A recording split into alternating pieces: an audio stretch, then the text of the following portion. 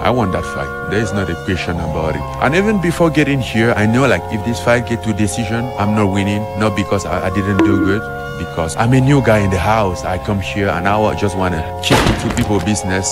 I know there's a structured business out there and you need to do a lot to destroy it. That's why you would be upset for them. I wasn't expecting to just win like that in decision.